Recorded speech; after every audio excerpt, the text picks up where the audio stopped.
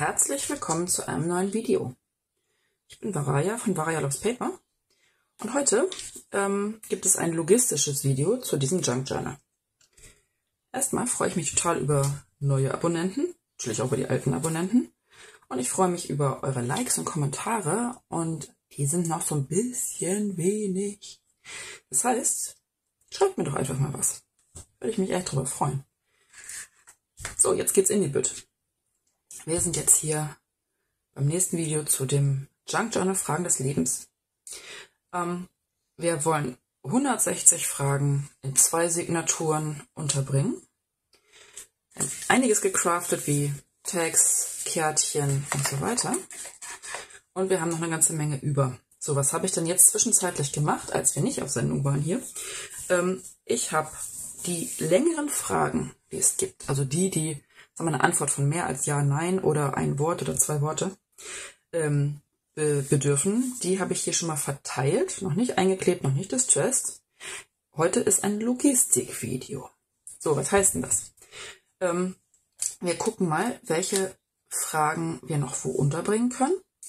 Hier sind noch, ich habe Zehnerhäufchen gemacht, ähm, rund 1, 2, 3. Das ist nicht ganz 10, also ich glaube so 37 Fragen müssten es sein, wenn ich mich nicht verzählt habe, die wir noch unterbringen wollen in den, in den Journals. Es sind so kleine Plätze wie hier für so Ja-Nein-Fragen und die meisten hiervon sind Ja-Nein oder Ein-Wort-Fragen. Die möchten noch verteilt werden. So. Ähm, außerdem möchte ich schauen, wo ich noch diese ausgeschnittenen, vorgeschnittenen Stamperia-Papiere unterbringen kann. Das sind noch so Seitenerweiterungen, so Ausklappdinger, weil hier und da äh, können wir es gebrauchen und ich möchte diese wunderschöne Papier unterbringen. Und ich möchte gucken, wie ich diese Karten hier im Journal ähm, verteile. Es wird jetzt natürlich ein bisschen schwierig für mich, wenn ich die schon überall reinpacke, weil dann weiß ich wenigstens, dass alles einen Wohnort hat.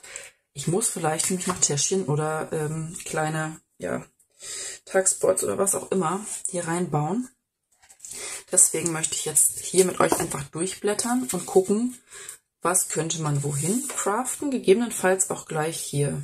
Ne? Wir Tape? Hier haben wir Schere. Gleich die Stamperia-Teile mit einbauen.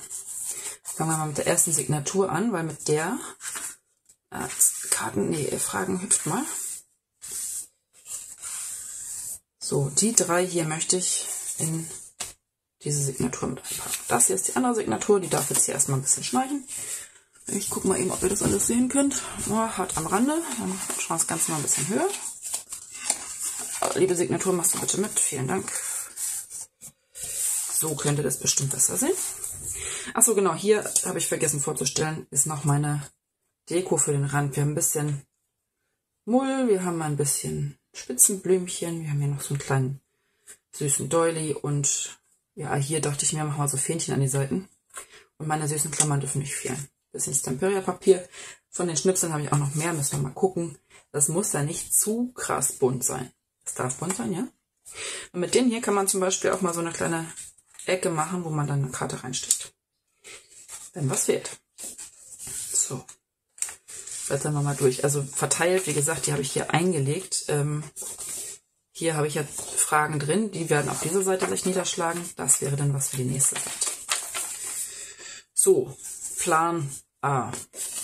Drei Seiten möchten hier mit, mit eingebaut werden. Wo sind die besten Plätze dafür? Teil 2. Welche Karten können wir wohin stecken? Weil so viele Steckplätze haben wir nicht. Und gerade diese, diese schweren Tags, die möchten natürlich einen echten Wohnort haben. Abgesehen davon, dass sie noch ein Band brauchen. Ich weiß, falls jetzt jemand sagt, oh, du hast gerade ein Band reingepackt. Nee, habe ich noch nicht. So, das hier würde doch wunderbar farblich auch hier hinpassen. Check gekauft. So, dann haben wir hier noch ein neues. Hier haben wir schon eine Seitenerweiterung dran. Hier noch nichts. Ähm, theoretisch, praktisch, gut, könnte man hier die nächste Seitenerweiterung machen.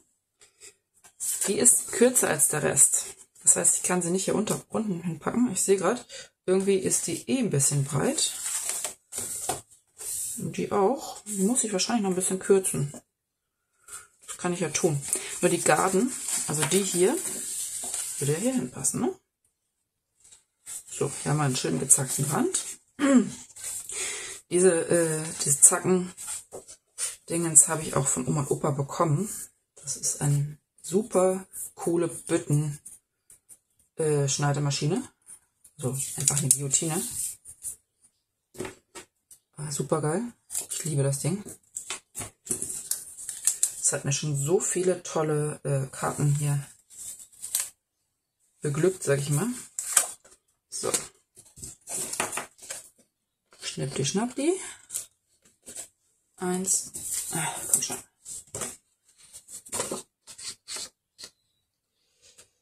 Zwei. Bei diesem Stamperia Papier ist ein schöner Tipp für mich, also für euch von mir. Ein Tipp, ähm, wenn ihr die rausreißt, da ist ja so eine Gummiabreißkante, sag ich mal. Geht da noch einmal mit der Guillotine drüber oder so. Oder irgendeinem anderen Schneidewerkzeug oder mit einer Schere oder Schmirgelpapier geht auch, dass man mal so rüber schmirgelt.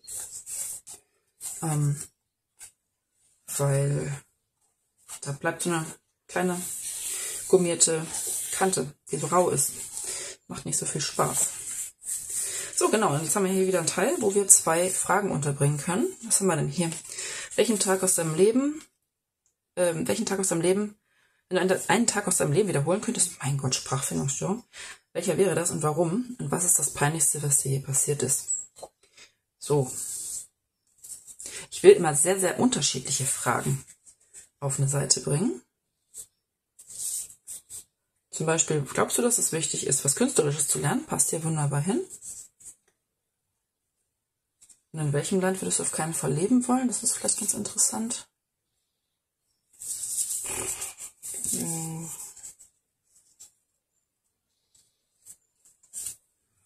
Ja, warum nicht? Das sind ja einfache Fragen. Das sind ja Ja-Nein-Fragen bzw. Einwortfragen. So, gekauft. Wir haben schon wieder zwei Fragen mehr untergebracht. Dann geht es hier weiter im Text. Hier kommen nämlich auch noch einzelne Fragen hin. Fällt mir nämlich gerade auf, die können wir direkt mit einsortieren. Und dieses Papier finde ich so schön, deswegen wollte ich kurze Fragen nehmen, beziehungsweise Sachen mit kurzen Antworten. Das ist meine Lieblingsfrage.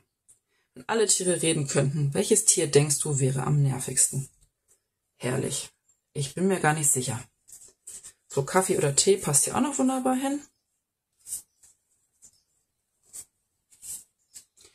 Die beiden, wohl Kaffee oder Tee ist nur kurze, die passt auch woanders wunderbar hin. Ähm, dim, dim, dim, dim, dim. Oh, das ist auch schön. Ist es in Ordnung, etwas Falsches zu tun, wenn es nie jemand herausfinden könnte? Das ist einfach eine Sichtweise, ne? So, hier haben wir auch die Fragen, die Sachen, die Seitenerweiterung. Hier haben wir auch eine Seitenerweiterung. So, Freunde, jetzt wird es langsam eng. Wir haben nämlich noch zwei Sachen, die hier ein, Einzug halten wollen. Die aber noch ein bisschen geschnitten werden wollen. So, hier haben wir auch schon eine Seitenerweiterung dran. So, hier haben wir wieder so ein Luise Heinzel Papier. Ähm, ach so, ich hatte ja, ich bin ja doof. Ich hatte ja festgestellt, dass sie eh zu breit sind. Ich wollte die ja so anbringen. Naja, Frau Liebe, ja. Mhm, mhm, mhm. Das. Ich habe jetzt einfach nach dem Hintergrund geguckt, weil das andere Stück, was ich gerade eingebaut habe, hat den gleichen Hintergrund wie dieses. So, das baue ich hier an. Mm, ich möchte nämlich immer ein bisschen, bisschen Abwechslung hier drin haben.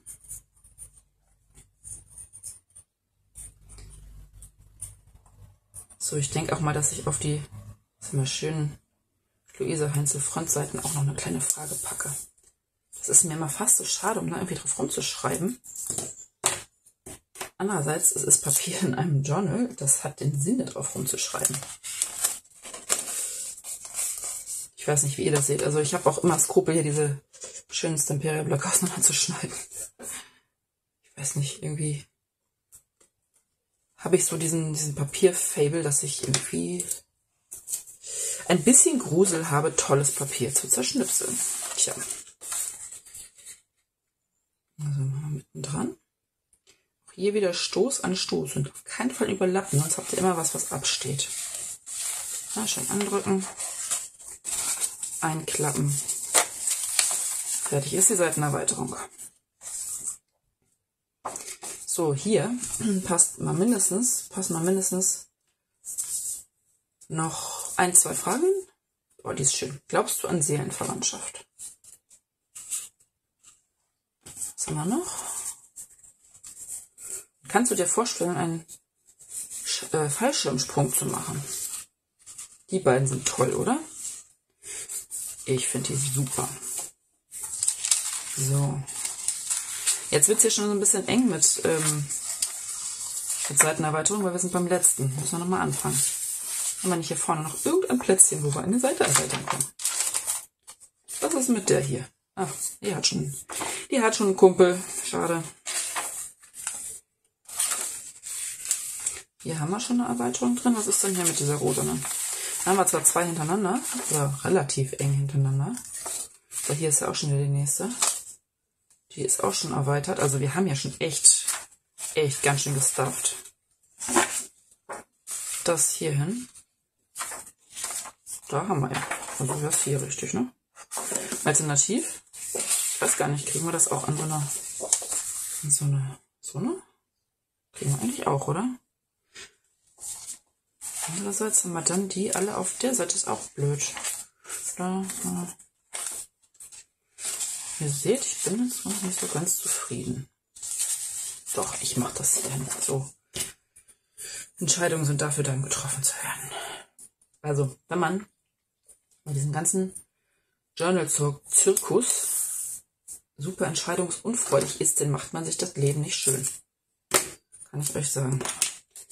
Dann ist äh, dann ist man einfach echt Gefangener des eigenen. Ach, gut.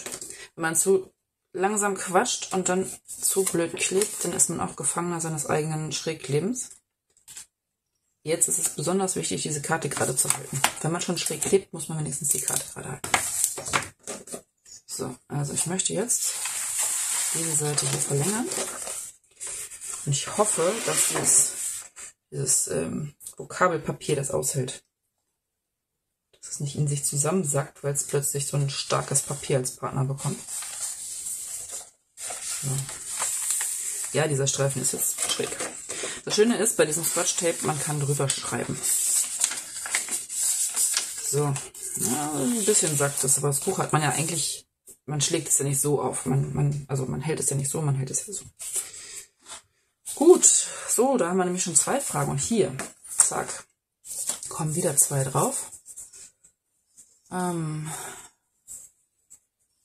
was haben wir denn hier? Welche Sprache würdest du wählen? Welchen Feiertag magst du? Was ist das großart was ist die großartigste Geschichte, die du gehört hast? Von welchem Fabelwesen würdest du dir am meisten wünschen, dass es wirklich existiert? Das finde ich super. Ähm, mh, hm, wann hast du Fahrradfahren gelernt? Super cool. Zack gekauft. So, das Einzige, was ich nicht machen darf, ist das Buch jetzt senkrecht halten. Vielleicht sollte ich oben noch eine Kante einbauen, um die Seite zu stabilisieren. Bei dem Vokabeldings.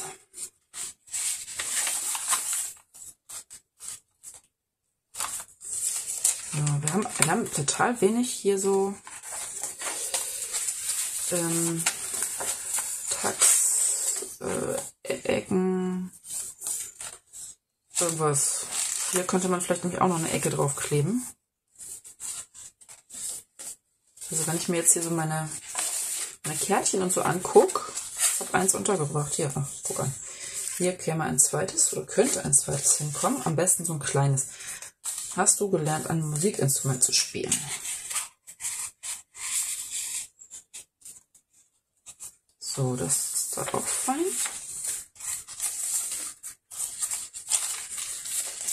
Ja, wir haben ja auch noch gar keine Pockets oder irgendwas, ne? Also wir haben ganze zwei von den Dingern untergebracht. Das ist jetzt nicht so viel. Dann gucken wir uns erstmal so die natürliche, die natürliche Sortierung der Signaturen an, die jetzt schon existiert. Bringen unter, was wir jetzt gerade mal eben unterbringen können. Und dann müssen wir natürlich Lösungen hier für den ganzen Rest finden. Und da sage ich euch eins, im Cover habe ich schon vier Sachen untergebracht. Gegebenenfalls kann man da natürlich noch so einen kleinen Streifen reinsetzen und dann auch wieder so eine Karte oder so ein ähm, Tag reinbringen. So, für diese Signatur habe ich zwei gewählt. Warum zwei? Weil ich hier schon was habe, was aufträgt. In zweifacher Form, ihr seht's.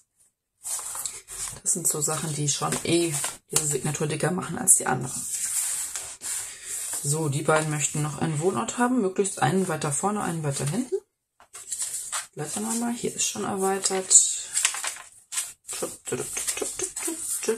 Luise Heinzel möchte bestimmt erweitert werden. Also, nicht Luise selber.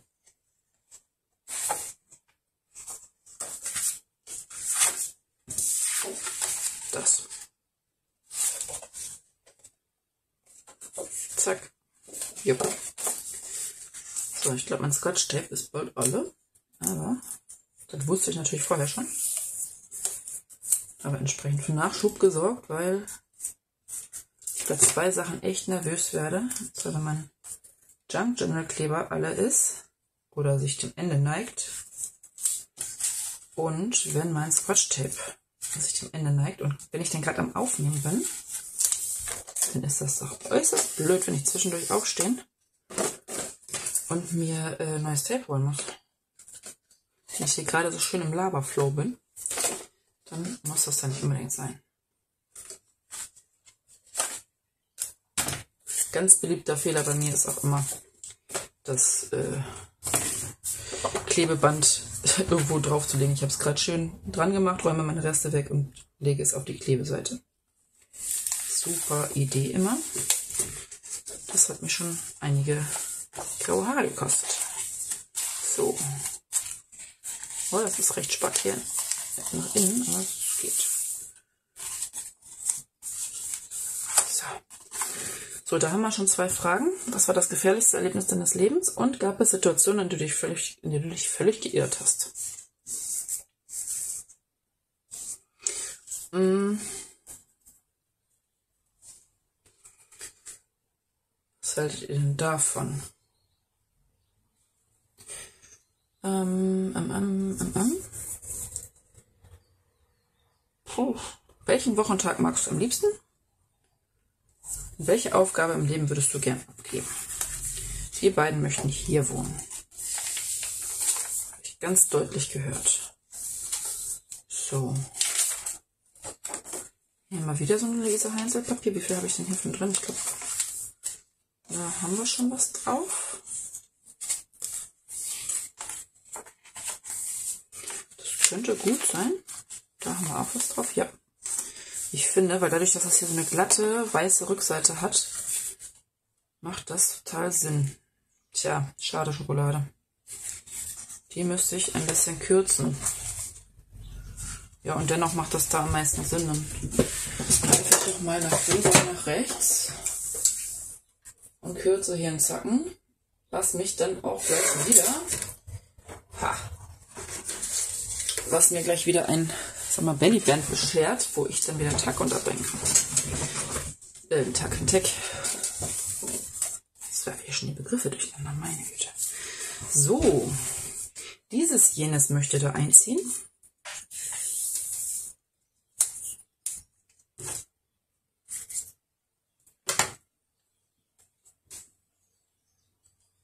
ist ein bisschen elektrostatisch aufgeladen. Das heißt, wenn man das so rüberhält, das Klebetape, dann zieht es das Papier an. Das ist ziemlich lustig und sehr hilfreich. Man weiß, dass es so ist.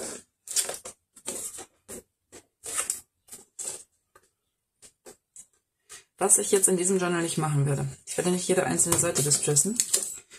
Ich werde nicht jeden einzelnen, also nicht Tag, was auch immer ich hier reinsetze, ähm, nicht jede einzelne Erweiterung, nicht jedes einzelne Dingens. Ich werde die Fragen distressen, weil das finde ich wichtig. Hier einfach auch für die Übersichtlichkeit, dass die Fragen einfach schön umrandet sind. Und damit werde ich schon gut zu tun haben. Ja, kennt ihr die Anzahl der Fragen? Uah. So, jetzt hätten wir zum Beispiel, mit welchen Worten, mit welchen drei Worten würdest du dich beschreiben? Und welches, was für ein Tier war dein Lieblingskuscheltier? Die beiden finde ich gut und passen sie zu wo würdest du morgen hinziehen und wohnen, wo Geld keine Rolle spielt? Und was war der größte Fehler, den du jemals gemacht hast? Ich finde, die Fragen sind sehr unterschiedlich und das gefällt mir. So. Die Menge an Fragen, die einen Wohnort brauchen, sinkt. Gut, jetzt haben wir erstmal unsere beiden Seiten untergebracht. Jetzt gehen wir das Ding mal durch. Hier vorne kommt auf jeden Fall, genauso wie da vorne, noch eine kleine Frage hin. Ja. Also.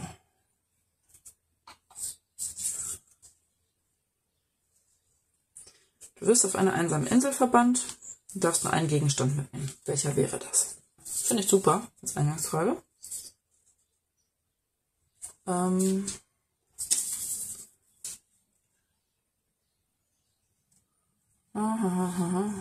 Was ist das lustigste deutsche Wort? Das möchte ich da haben. Okay, here we go. So, wie sieht das perfekte Weihnachten für dich aus? So, was haben wir hier? Ah, das ist eine ganze Seite. Das sind so kleine Fragen. Was magst du an einem Menschen? Hier hinschreiben. Glaubst du an Zufall oder Glück? Hier hinschreiben. Da passt noch etwas weiteres hin. Zum Beispiel Kaffee oder Tee.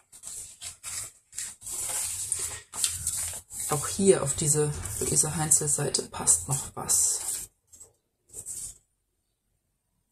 Zum Beispiel denkst du, dass es ein Leben in anderen Galaxien gibt. Und da kommt jetzt ins Spiel, wartet, wo habe ich es hingelegt? Ich habe hier noch so eine schöne Seite mit Linien. Ja, und da reiße ich mir jetzt einfach so ein Stück raus. Ich mache das möglichst gerade, dass ich davon noch mehr benutzen kann. Wichtig ist immer die Kante, die ihr distressen wollt, nach unten. So. Habe ich hier was. Jetzt habe ich hier was, was Linien.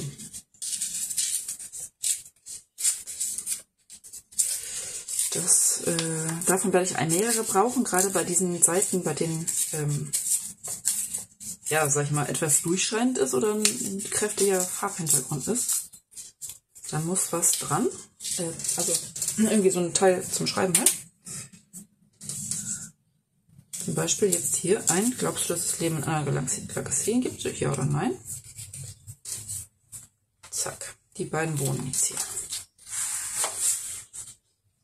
Ähm, so. So, die beiden sind besetzt. Was haben wir hier? Die beiden sind auch besetzt. Die beiden sind besetzt. Hier ist es dann ähnlich. Ne? Sie hat, ähm, hat noch keine Frage, man Wellem. Ähm, dem Wellem kann man auch schreiben. Das heißt, ich würde doch tatsächlich, allerdings kann, kann man da nur von einer Seite drauf schreiben. Also natürlich kann man von beiden schreiben schreibt man sich selbst ins Geschriebene und kann das Geschriebene nicht mehr lesen. Welches dann? Wenn du deinen Namen verändern würdest? Das Land steht auf der Reiseliste. So. Schwupp. Untergebracht. Hier haben wir wieder das gleiche. Zum Beispiel, welche Sprache würdest du gern fließend sprechen können? Ähm, dann haben wir jetzt hier so ein Stück. Das ist ein bisschen mehr Platz. Also die müssen wir hier irgendwie unterbringen. So, dann haben wir das. Ich habe immer noch kein, keine Ecke hier gefunden. Ich so viele Ecken eingebracht. Hier, genauso auf den Umschlägen. Ne? Ähm, wir können später noch, weil ich glaube, also, was heißt, ich glaube, ich weiß, wir haben genug, genug Sachen, die hier zum Beispiel draufgehen. Die brauchen dann nur einen Teil zum Schreiben. Also, der geneigte Junk Journaler, der wird, so, dieser, dieser, dieser. Der geneigte Junk Journaler wird ähm, auf jedem Material schreiben können, auch den richtigen Stift dazu haben. Meine 93-jährige Oma wird wahrscheinlich einen Kugelschreiber benutzen, was ja auch völlig in Ordnung ist. Nur hier mit Sicherheit die Linien vermessen und gar nicht wissen, wo soll sie hinschreiben. Wie auch, ne? Also, ich sag mal so, wir sind geübt. Geht noch nicht so. Was auch nicht schlimm. So, dann haben wir da auf jeden Fall den Umschlag. Haben wir hier noch irgendwo einen Umschlag drin gehabt? Nee. So, die beiden, das hier. So, hier hätten wir wieder so ein Luise Heinzel Herzchen.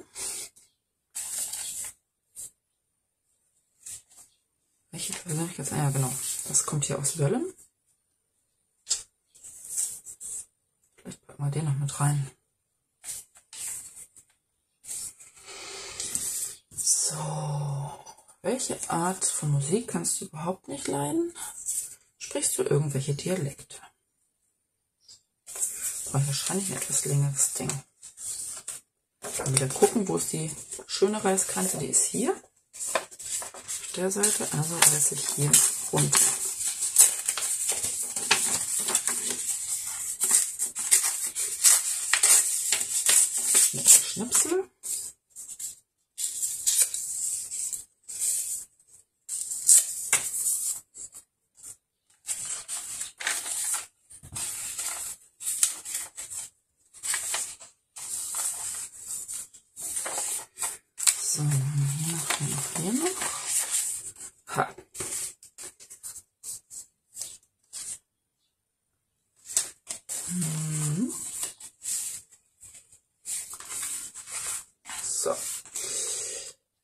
Dein Leben ein Buch wäre, welchen Titel würde es haben?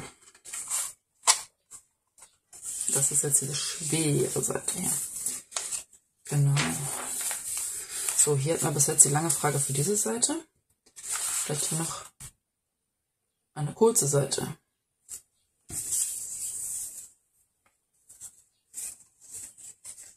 Wie lange kennst du deine besten Freunde schon? So, schöne Seite.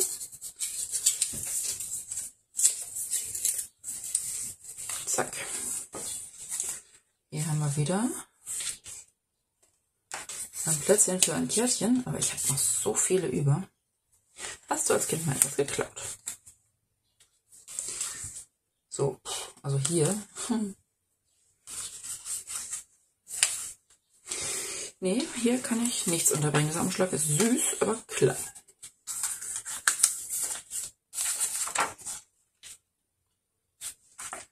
Eigentlich kann das hier so bleiben, oder?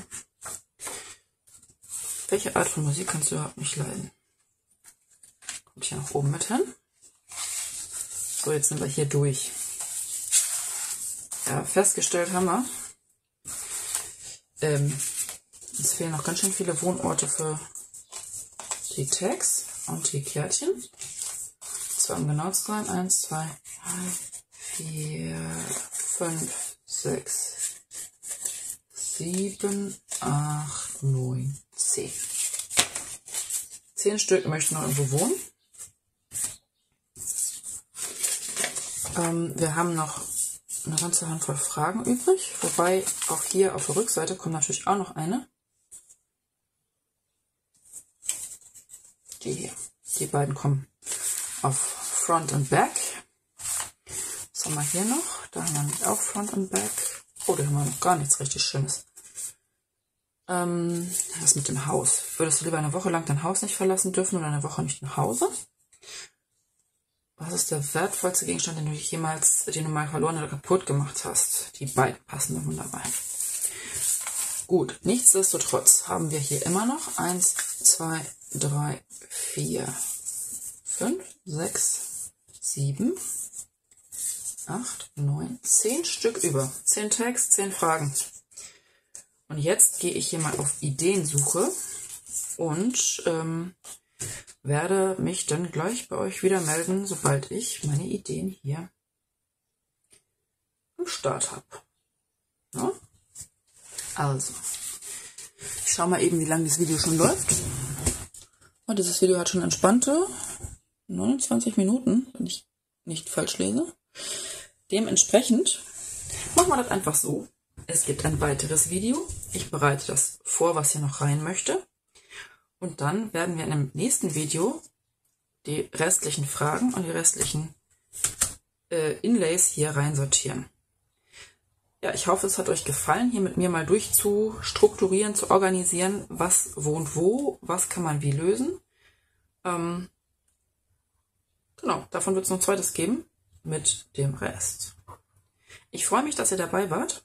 Mir hat es mega Spaß gemacht, hier das zu sortieren und euch auch so ein bisschen zu erklären, welches meine Gedankengänge dabei sind. Und ich freue mich drauf, wenn ihr das nächste Mal wieder mit dazu kommt und euch anschaut, wie es hier weitergeht. Also, viel Spaß beim Basteln und bis demnächst in diesem Kino.